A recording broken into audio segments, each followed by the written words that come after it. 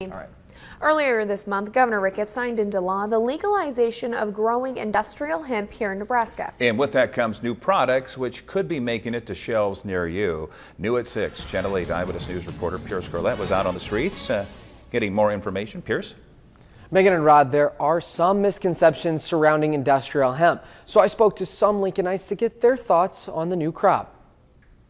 Earlier this month, Governor Ricketts signed a bill that would allow farming of industrial hemp in Nebraska, and now some stores in the capital city are beginning to sell hemp cigarettes. We called numerous smoke shops, and most of them didn't know much about hemp cigarettes or weren't interested in selling them. But CBD shop owner Adam Brewer believes it could open up some possibilities. To affect it, I would say um, for the better, it's going to open up possibilities for Nebraska uh, hemp farming and processing and manufacturing. So um, you know, we could potentially manufacture and process our own product line right here in Lincoln. And some Lincoln residents are excited about the possibilities. I think it would be good for us. I mean, another crop, another thing for income for farmers. With hemp starting to hit the Lincoln shelves, there are still some misconceptions about what the product actually is. There's some, some worries about the, the hemp marijuana cross, and, and everything I've read makes it seem like that's that's not a concern, not a possibility. So, so why not? I think it's a great idea. So the largest misconception is that hemp uh,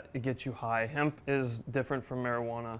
Hemp and marijuana are both part of the cannabis uh, family but uh, marijuana is high in THC and hemp is high in CBD. Some people believe CBD helps with anxiety, sleeping, and other ailments. Even though hemp has been legalized, don't expect to see major changes soon. Um, I don't think it's going to be what people have pictured in their mind. Um, I don't honestly think that there's really going to be uh, a very noticeable change to the naked eye. You know, it's not like Nebraska's landscape is going to change or anything like that.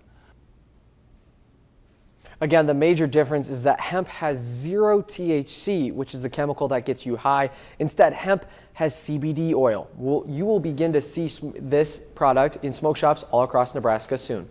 Pierce Corlett, thank you very much for that story.